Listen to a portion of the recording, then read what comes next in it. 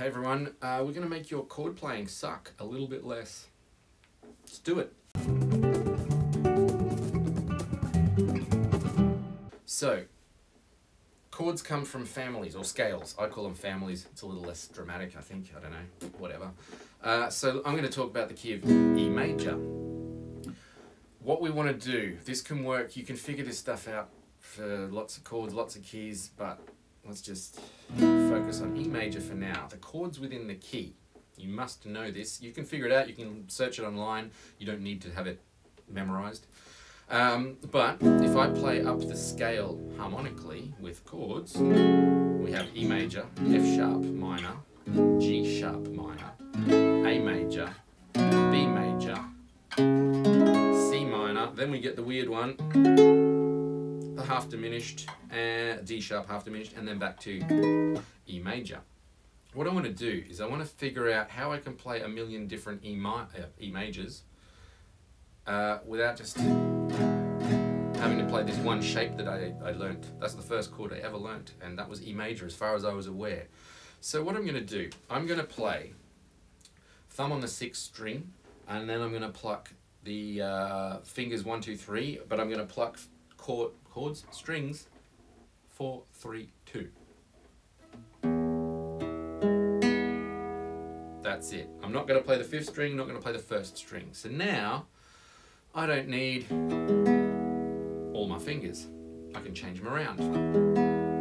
Now the second shape I used was a a major, uh, sorry, major? Pff, Jesus Christ, I need more coffee. Uh, I'm going to play a minor 7 here because I, I can. But if I look at the chords, God, sorry, in French, chords is strings. It's really annoying. Uh, uh, so, I'm playing 6, 4, 3, 2. Now, if I'm playing 6, I want to keep the 6 as a 0, as an E, because I'm trying to figure out E chords. E major chords. So I have my E major in that position. The next shape was this. But because I want to keep the E open, I don't need the bar. I have three notes like this coming from this shape. I'm only playing the second, third, and fourth string. So it's a bar or three notes in a row with E. Hopefully that makes sense. Same concept. Next shape was G sharp minor. I'm using a minor 7. So I can then have these three notes.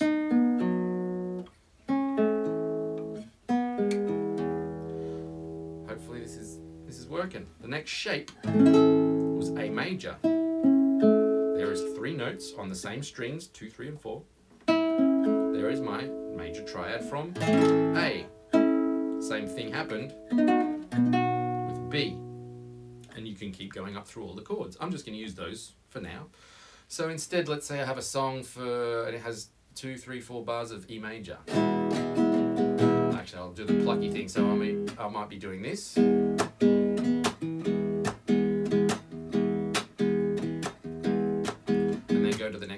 Song.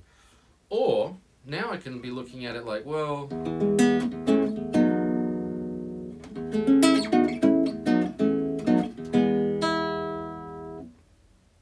getting cool. So that was all E major stuff. E major something, we don't care what it is, we don't need to know that. But it was E major something. And I'm just using the shapes from chords within the key. Start stealing other notes from other positions, which I just did at the end there. So I'm going to steal this note from this position Nice. Sounds good. So, I stole those two notes. One from here, one from there, back to there. Can do it with the chord shapes. E major stuff.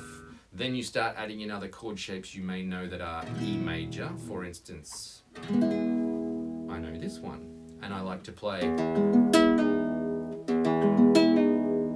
So then when I do that pull off, it kind of leads me to that three note shape, whatever. So,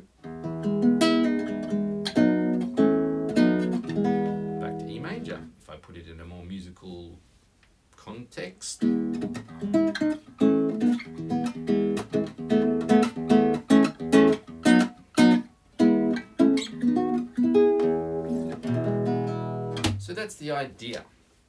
Pick the chord or the key, find the chords within the key, figure out the shape or the strings you want to pluck, and then steal shapes all up the neck.